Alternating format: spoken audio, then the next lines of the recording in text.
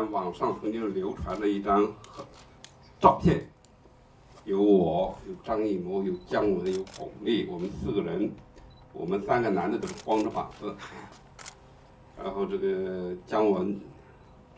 呃，剃着光头，张艺谋也剃着光头，那就是一九八七年在我的老家拍摄这个《红高粱》的时候，我们的留影。当时我们都还比较年轻啊，一九八七年我三十二岁。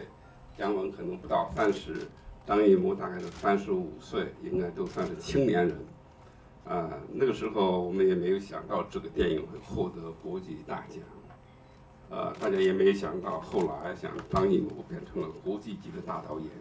也没有想到巩俐在国际影坛上成了熠熠夺目的耀眼的明星。啊，